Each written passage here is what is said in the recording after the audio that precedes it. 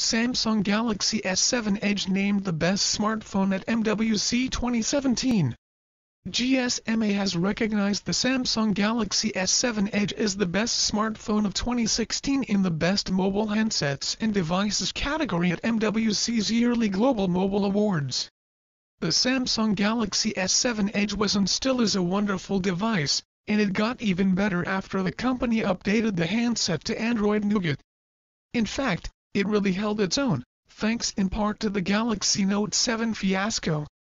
When Note 7 users needed to turn their defective devices back in, many opted to swap it out for the Samsung Galaxy S7 Edge. After all, it had a large enough screen, dual-edge display, and the same CPU plus RAM combination. The only things it was missing were an S Pen, larger screen, and the iris scanner. We are honored to be recognized for our craftsmanship in design and innovation with the Galaxy S7 Edge. Juno Park, Vice President of Global Product Strategy over at Samsung Electronics says we are honored to be recognized for our craftsmanship in design and innovation with the Galaxy S7 Edge.